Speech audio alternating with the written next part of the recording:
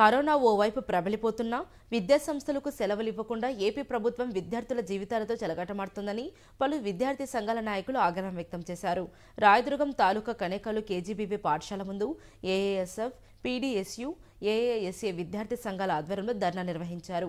Corona దృష్ట్యా విద్యాసంస్థలకు సెలవులు ప్రకటించాలని ఏఏఎస్ఎఫ్ రాయదుర్గం తాలూకా ఇన్ఛార్జ్ కోట్రేష్ తాలూకా అధ్యక్షుడు Anji PDSU taluka secretary Prasad AASC taluka secretary Kumar demand చేశారు. రాయదుర్గం తాలూకాతో పాటు గుమ్మగట్ట గురుకుల పాఠశాలలో పదహైదు మంది విద్యార్థినులకు కరోనా సోకిందన్నారు. ఈ నేపథ్యంలో తెలంగాణలో లాగే ఏపీలో కూడా విద్యాసంస్థలకు వెంటనే సెలవులు ప్రకటించాలన్నారు. ఈ కార్యక్రమంలో ఏఏఎస్ఎఫ్ నాయకులు ప్రేమ్ కుమార్ శాంతరాజ్ ఎర్రిస్వామి లోకేష్ పీడీఎస్యు నాయకులు శ్యాంప్రసాద్ తదితరులు పాల్గొన్నారు. ప్రకటించాలి కరోనా దృష్ట్యా స్కూల్ సెలవులు వెంటనే ప్రకటించాలి ప్రకటించాలి కరోనా దృష్ట్యా స్కూల్ సెలవులు వెంటనే ప్రకటించాలి కరోనా దృష్ట్యా ప్రకటించాలి స్కూల్ సెలవులు వెంటనే ప్రకటించాలి విద్యార్థి జీవితాలతో చెలగాట మారుతున్న రాష్ట్ర ప్రభుత్వం విద్యార్థి జీవితాలతో చెలగాట మారుతున్న రాష్ట్ర ప్రభుత్వం విద్యార్థి జీవితాలతో చెలగాట మారుతున్న రాష్ట్ర ప్రభుత్వం.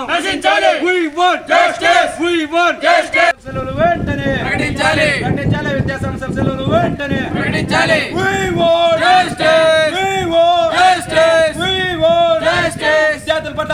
నిర్లక్ష్యం వైఖరి నశించాలి. విద్యార్థుల పట్ల అధికారుల నిర్లక్ష్యం వైఖరి నశించాలి. We want Justice. We want Justice. We want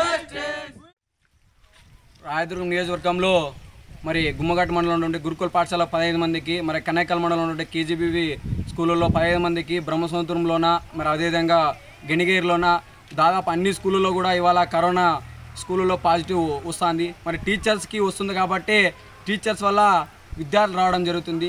మరి దీన్ని దృష్టిలో పెట్టుకుని విద్యాశాఖ మంత్రి ఎందుకు ఇవాళ విద్యా సంస్థలు సెలవులు ప్రకటించడం లేదు వాళ్ళ అర్థం కాని పరిస్థితి.